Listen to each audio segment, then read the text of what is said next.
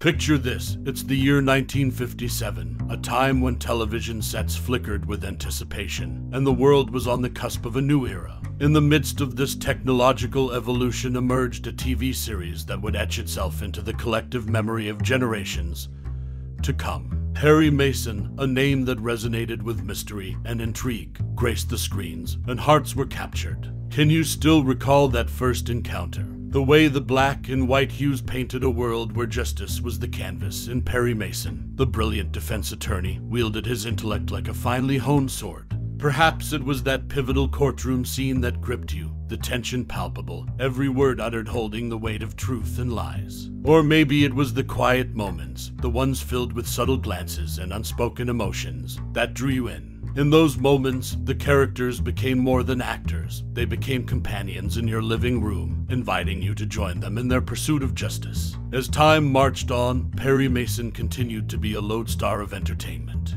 And now, as we journey back to that era, let's uncover some lesser known gems about the show. Imagine learning how Raymond Burr, the embodiment of Perry Mason himself, brought the character to life with meticulous dedication or discovering the intricate dance between script and screen that gave birth to those unforgettable episodes. So, step into the past with me as we unveil the curtain on Perry Mason's secrets, reliving the moments that ignited your passion for legal drama. It's a chance to reminisce, to rekindle the emotions that this show evoked, and perhaps even to stumble upon new revelations that you might have missed. Are you ready to dive in? Then let's embark on this journey together, rediscovering the magic that captivated hearts so long ago. Perry Mason's 1957 TV series was marked by an intriguing auto sponsorship twist that caught the attention of viewers. With each episode, the cars on screen seemed to shift allegiance between automotive giants GM and Ford, creating a subtle yet captivating element of surprise. One week, Perry Mason could be seen behind the wheel of a sleek Ford Skyliner, exuding a sense of modernity and class. Yet, in the following episode, a black Cadillac convertible would command his presence, exuding a different kind of sophistication.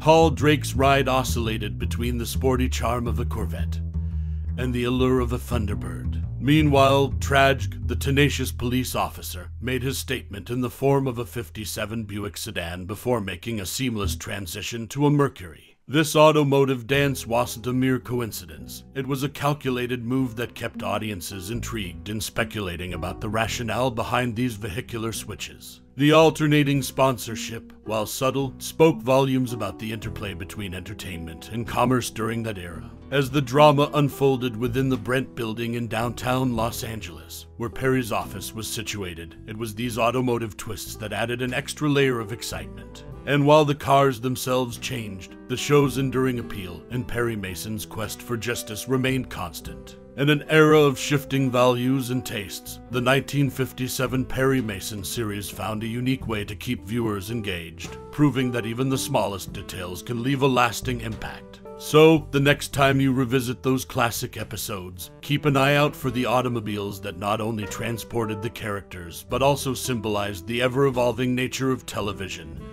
and advertising. Engaging and unexpected, the sponsorship switch ups of the 1957 Perry Mason series exemplified the era's creative fusion of storytelling and commercial dynamics. A subtle reminder that even in the realm of entertainment, change is the only constant.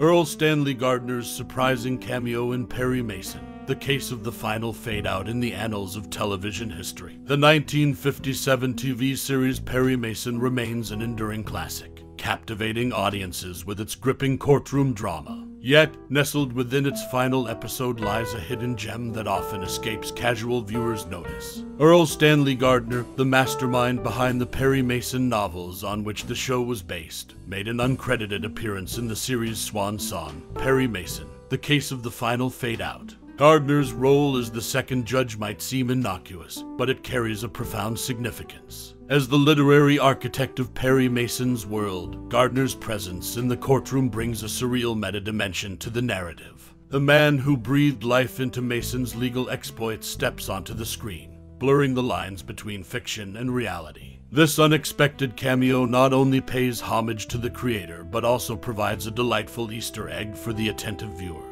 Gardner's involvement in the show goes beyond this cameo. His creative genius laid the foundation for the series' success, ensuring its fidelity to legal procedures and intricate plots. The final episode's cameo serves as a subtle tribute to his contributions, a fitting punctuation mark to the show's long and prosperous run.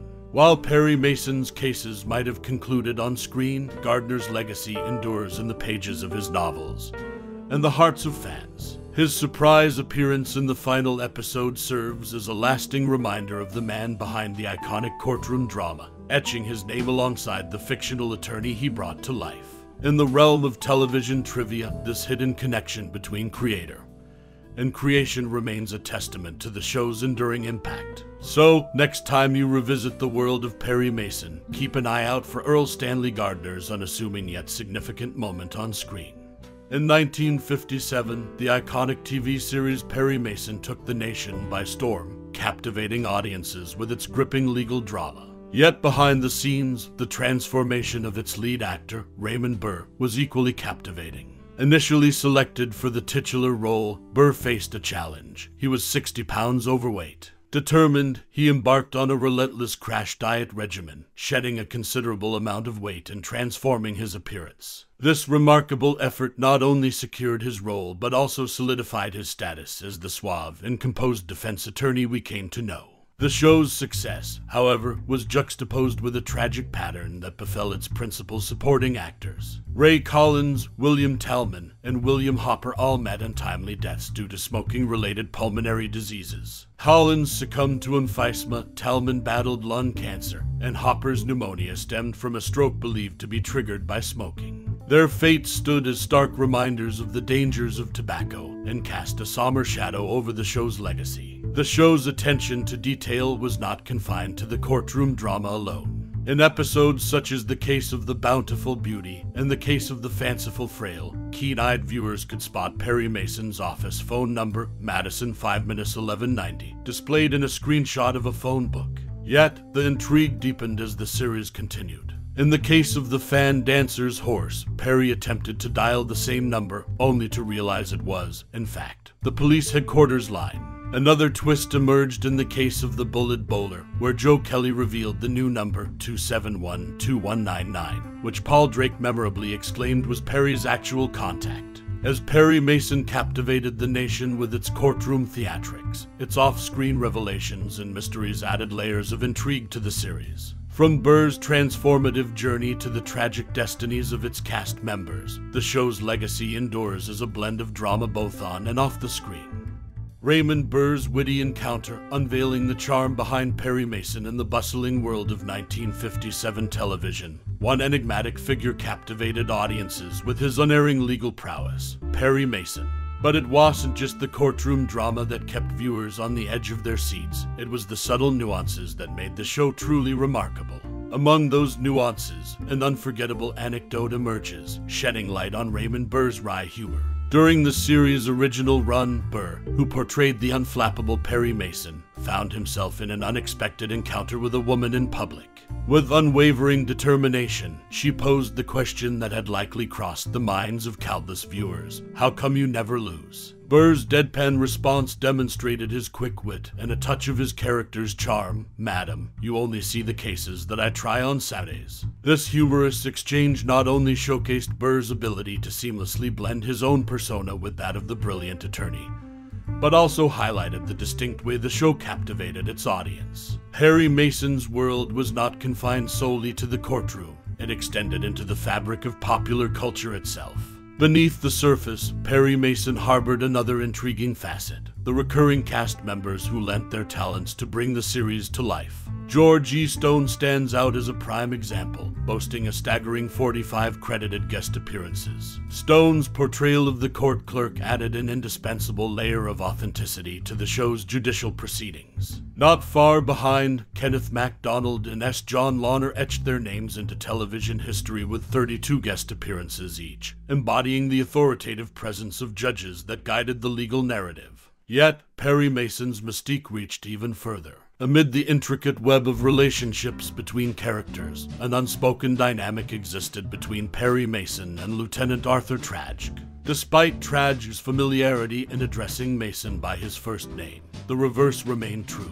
Mason, intriguingly, never uttered Tragg's first name, maintaining a subtle distinction that added depth to their interactions. As we revisit the classic series, it becomes evident that Perry Mason's allure extended beyond the courtroom drama, delving into the realm of nuanced interactions and well crafted humor. Raymond Burr's response to a curious admirer, the recurring cast members who became fixtures in our living rooms, and the unspoken dynamics between characters collectively contribute to the show's timeless appeal. Perry Mason continues to stand as a testament to television's golden era, where even the smallest details left a lasting impact.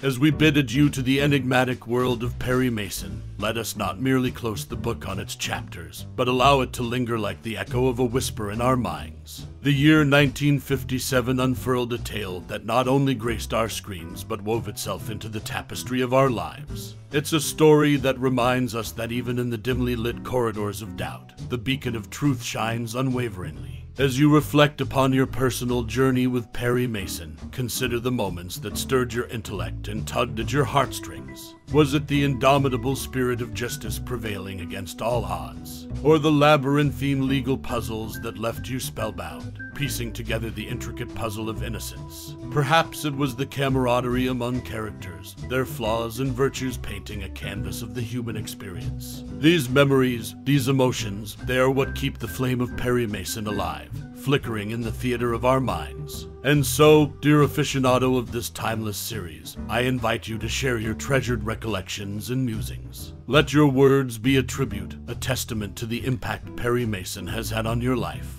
Thank you for embarking on this journey through time and justice with us. Your time and interest are cherished threads that weave the fabric of our shared appreciation. Until we cross paths again, may the echoes of Perry Mason's gavel reverberate in the corridors of your thoughts, reminding you that truth is the cornerstone of virtue.